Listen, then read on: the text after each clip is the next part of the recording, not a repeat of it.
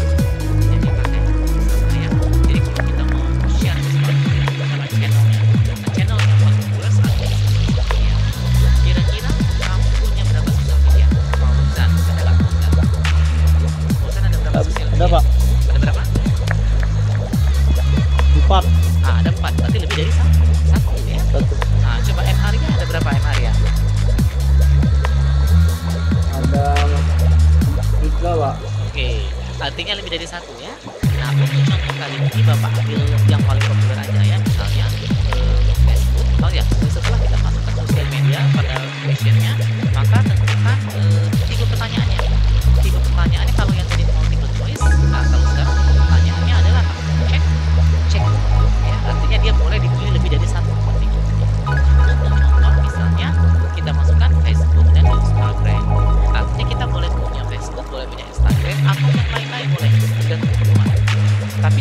boleh nggak kita masukkan di sini?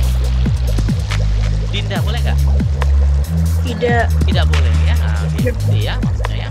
Nah, kemudian dengan cara yang sama adalah kita uh, atur sifat pertanyaan yang lalu lain